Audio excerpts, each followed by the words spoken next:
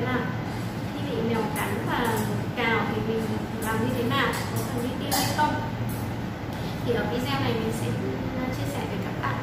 À, thứ nhất là với các bạn phải chia ra làm hai trường hợp. Trường hợp thứ nhất là bị chó mèo nhà cắn và trường hợp thứ hai là bị chó mèo tức là trường hợp thứ nhất là bị mèo nhà cắn à, và trường hợp thứ hai là bị mèo hoang cắn. Với trường hợp mèo nhà nhà mình nuôi uh, lớn tuổi rồi đã nhiều năm nuôi ở nhà rồi. Mà mình biết tính tình của bạn ấy như thế, tức là nó rất là khó chịu. Nó không thích người khác sport ve hoặc là khi mà mình tranh giành đồ của nó thì nó sẽ cắn lại. Thì đấy là cái ờ, phản xạ bình thường của nó. Và mình chỉ cần vệ sinh vết thương sạch, sau đó thì ờ, theo dõi con mèo. Với vết cào thì không quá nguy hiểm, các bạn chỉ cần lau qua cồn iốt sau đấy thì giữ sạch vết thương là được còn với vết cắn thì thường răng mèo nó bẩn, nó sẽ có hiện tượng sưng và đau nhức rất là lâu.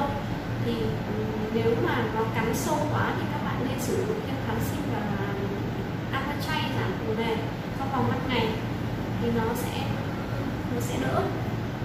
Thế là với mèo nhà cắn và mình phải, tức là cái mèo nhà mình phải, mình đang nói đến vấn đề là bạn, mèo thường thì ở nhà thường xuyên và không phải là vừa mới bỏ nhà đi vài tháng trời nữa. nên là mình đang nói đến vấn đề mèo ở trong nhà còn trường hợp thứ hai là với mèo ờ, mèo lạ mèo nhà hàng xóm hoặc là ừ, mèo mèo hoang thì tốt nhất là ừ, nếu nhà hàng xóm thì các bạn nên bảo nhà hàng xóm là nhốt mèo lại và theo dõi theo dõi xem là trong vòng khoảng tầm một tuần đến ờ, một, một tuần một tuần đến hai tuần xem bạn mèo này có biểu hiện gì lạ không có ốm không hoặc có chết không nếu trường hợp mà ốm hoặc có dấu hiệu như là ốm sốt bỏ ăn đường dẫn hoặc các biểu hiện lạ như là mắt à, đau sòng sọc hoặc là khó chịu tìm bóng tối thì các bạn nên đi tiêm nên đi tiêm phòng dại sớm.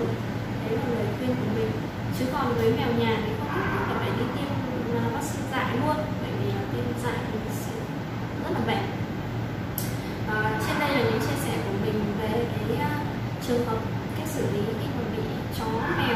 mèo cắn cào hy vọng là những chia sẻ của mình à,